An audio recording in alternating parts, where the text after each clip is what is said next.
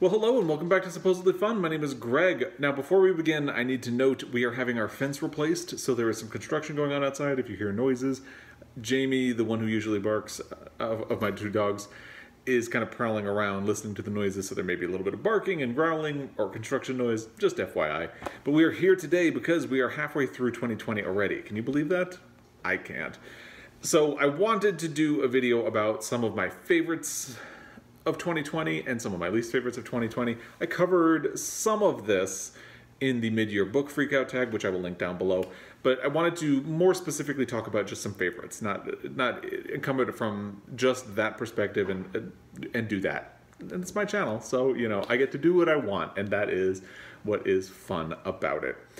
Now I'm going to do things a little differently. I want to talk about the ones that are least favorites because I did cover these a little more specifically on in the mid-year book freakout tag. I'm not going to spend a whole lot of time on them, and then we'll build to what is so far my favorite book of the year. And let's start with The Glass Hotel by Emily St. John Mandel.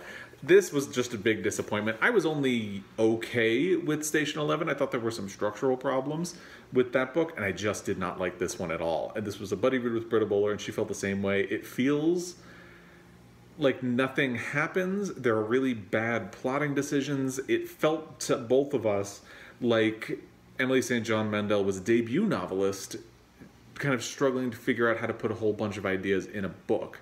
And she's not a debut novelist. This is like her fifth or sixth novel. And I think if she had chosen just one of her storylines and decided that that would be it, the book might have been okay. But you know, Station Eleven had the same thing, really sprawling narratives, um, but it managed to tie them all together much better than this one did. It was just to me, a disappointment. So that's Station 11. then there was Cloudstreet by Tim Winton. This is something that eh, Tim Winton had been on my radar, but I particularly wanted to get to him because my reading challenge to myself for 2020 is to read outside your comfort zone. The main idea of that is to read books outside of genres that I have that I traditionally read and to try to read more authors outside of the United States uh, or North America and Europe.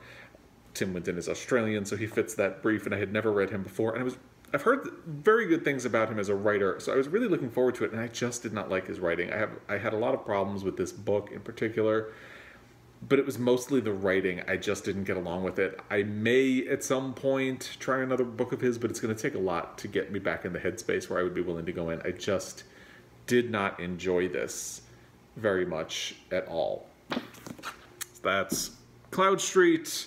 Then there's The Far Field by Madhuri Vijay. This is another one that I had high hopes for, and I read it for the first round of the Booktube Prize when I was reading fiction books, and I just didn't like it. I thought, again, I thought the plotting was very bad. The characters do things that don't make sense. They make decisions that deliberately put them in danger or make them feel oblivious and they'll arbitrarily change their whole life and I, I just did not believe it at all. It kind of feels like random acts of plotting in order to put pieces on a board to make a, it's trying to make them do things to show a larger story about india and kashmir and it just felt clumsy to me. I could see where somebody would read this and like it it just was not for me. And then there's a book that i do not have a copy of it's where reasons end by Yu Yiyun Li which was also a book for the first round of the booktube prize and i actually didn't get along with a couple of the books in that round but this one in particular graded on me because it hits a very specific pet peeve of mine with literature which is that i don't like performative therapy and th that book is very much that. Yiyun Li had a son who committed suicide and where reasons end is a novel about a mother conversing in her own mind with her son who has committed suicide. And I don't want to be insensitive. I can see where writing something like that would be extremely valuable to Yiyun Li. I did not like it, and I feel like some very much, even though some of those exercises may be therapeutic to the person writing them, it doesn't feel right to read them. It feels very, it feels like you're sitting in on someone else's therapy session and you don't belong there, which is something that really bothers me. And it also starts to feel like when you're in that position, things that seem profound to you may seem obvious to other people who are outside of the situation that you're in. I just don't like it. I, I had a similar problem with Motherhood by Sheila Heti. It's ju it's just not a book that's for me. So that is what it is. I, am not going to be counting The Turn of the Key by Ruth Ware or The Silent Patient by Alex Michaelides, both books that I started and did not finish.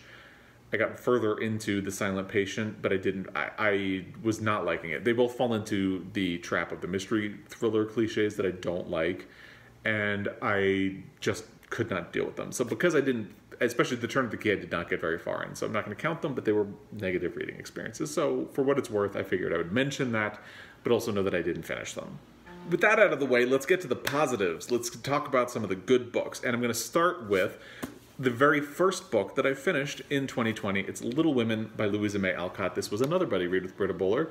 And I had not read this book. Uh, my sister read it when we, when we were kids, like many women in this country do. And I never wanted to read it because I thought it's a girl book. I don't want to do that. I'm not a girl. and shame on me because I actually really enjoyed it. This book holds up really well and it's very smart. It has a lot to say about the role of women in society, the role of, say, religion in society, and the expectations. And I actually particularly liked the second half of the book, which very much deals with how, as you grow up, you have expectations for what your life will be. And then in the second half of the book, the March sisters have to deal with the difficulties of those realities or of enacting those dreams. And I just thought it was really smart, very well done. I really enjoyed it. It does have a sort of episodic structure. At times, it does feel like a series of stories meant to teach morals to young people, which is probably why it has such a standing as like a book that young girls read but I think it manages to get at a lot of profound truths within that structure and do a lot of very smart things. I really enjoyed it a lot, and I'm glad that I finally got around to reading it. That is Little Women. Next is another Booktube Prize book. I had a lot more luck when I did the nonfiction round in the uh, second round of the Booktube Prize, and I, I have a couple of books that I really enjoyed while I was doing that. The first one is A Woman of No Importance by Sonia Purnell. This is the story of oh god, I'm blanking on her name, Virginia Hall, who wanted to do a lot of things. She wanted to be a diplomat, but she was not given a chance. She ends up working as a spy in World War II, and her story is just fascinating. And it's written in the style of a thriller, and I know some people think that is a negative. To me, this is exactly the kind of book that proves that narrative nonfiction can be perfect. I really enjoyed this book a lot. It, I read it at the very end of the rounds. I was stressed that I had to fit one more book in before turning in my ballot, and it was so compulsively readable that I had absolutely no problem getting it in in such a short time frame. And I'm actually thinking about reading Sonia Purnell's other book, which is Clementine, The Life of Mrs. Winston Churchill. I, I, I would recommend it, and I hope that this book does go far in the Booktube Prize. Another uh, book from the round of the Booktube Prize was Sea People by Christina Thompson. I do not own a copy. I listened to the audio of it. And I recommend the audio because the narrator has this wonderful voice. She does a great job in, in narrating it. She's very engaging and draws you into the story. I have heard other people comment to say, don't, no, no, no, don't miss out on the print book because the print book has a lot of really great photos in it. So I will leave it up to you to decide which is more important to you. But this was just a really great book exploring a subject that I didn't know anything about, which is something I really enjoy in nonfiction. And it's why a reason I seek out nonfiction a lot. I want to be taught something that I didn't know before, and I didn't know anything about this. So it's about Polynesia and how it was settled or how it could have been settled because we don't have a whole lot of answers on topics like this and how people moved from island to island and it is also very much in a more subtle way about colonialism and the impressions that white people who moved into the area had of the people and how they moved around and how those misperceptions shaped our understanding of their history. It's a fascinating book and I, I just really enjoyed it. The other book that I had put in the top three in that round was The Only Plane in the Sky by Garrett M. Graff. And as much as I, I, I worked to advance that book, it is still in, in the Booktube Prize uh, at the moment for consideration in the next round, the current round, before uh, which is the one before the finals. I I really struggled with whether or not to include it in my favorites, and I ultimately decided not to but I guess maybe like an honorary mention since I'm talking about it now, because I got something out of it. It forced me to reflect on my own reaction to 9 11 and why it's such a difficult subject matter for me, especially in literature. And as much as unpleasant as it was for me to deal with that, I got a lot out of it. So I feel like I have. I'm mentioning it here, but let's consider it like an honorary mention at the end. And the book that I gave first place to when I judged nonfiction in the last round of the Booktube Prize was The Heartbeat of Wounded Knee by David Treuer. I really enjoyed this book, and so much of it is that you know we all take our personal baggage into books that we read with us, and I have learned a lot about Native culture and the way in which Native cultures have lived for over the last century.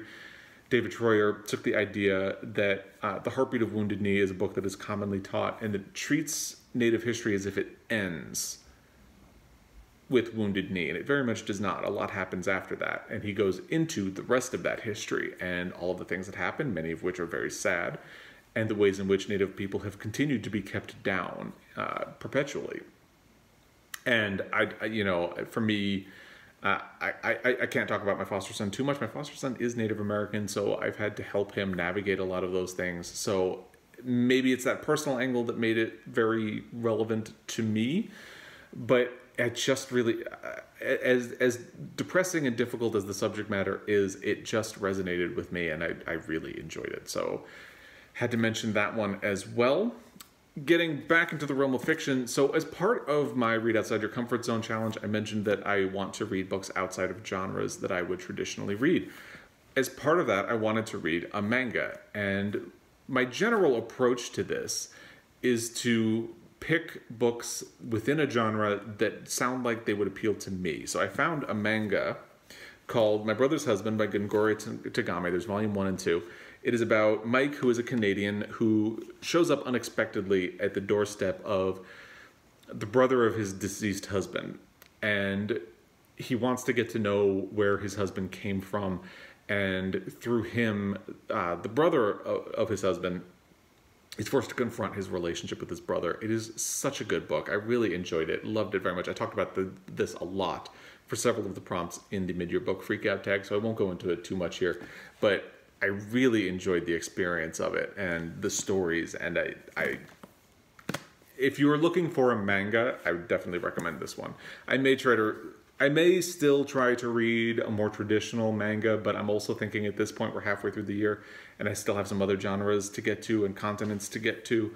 Uh, so I and, and bits of the prompt to get to. So I may leave that off and focus on some other things. Another genre I don't traditionally read is a Western. I read True Grit by Charles Portis. I listened to the audio, and the audio is narrated by Donna Tartt, the author of The Goldfinch, and she does a great job. She's a huge fan of the book True Grit, and she does a really great job with the audio, and I really enjoyed the story.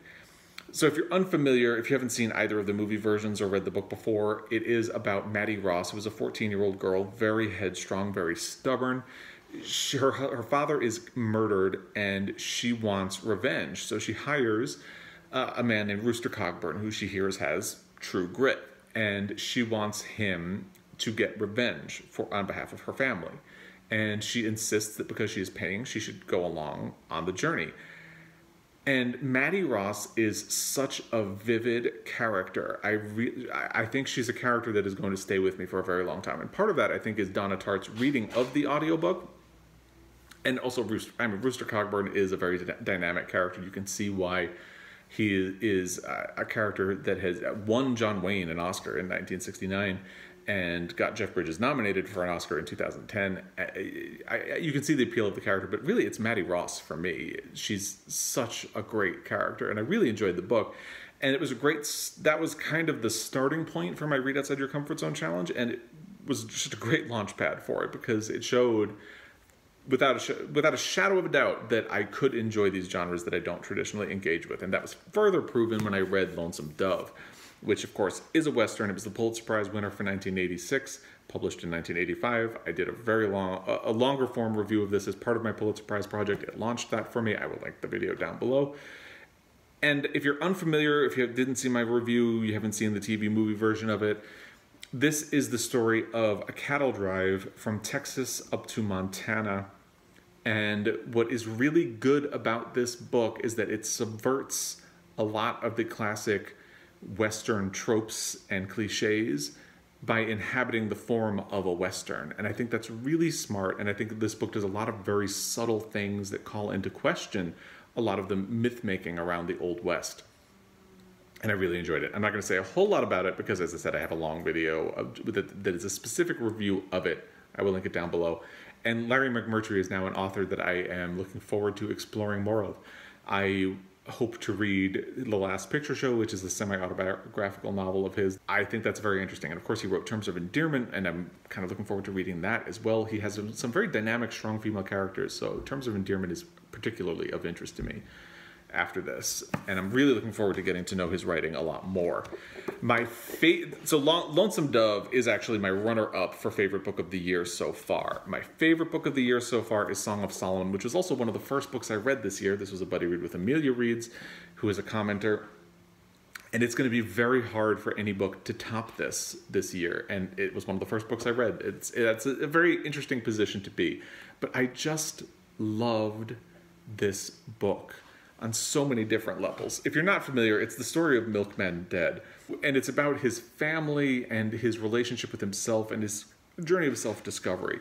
And it's more deeply about the trauma of slavery, like the lasting trauma of slavery, and how it continues to inflict trauma on people and rob them of their identities and their lives and their relation to, to other people it's such a good book. Amelia and I read this one chapter at a time, and I think that was a really great way to do it because after every chapter, we stopped and we reflected on what Toni Morrison was doing. And I think a really great example of that is that in her foreword, Toni Morrison, at least of this version, Amelia's version did not do this.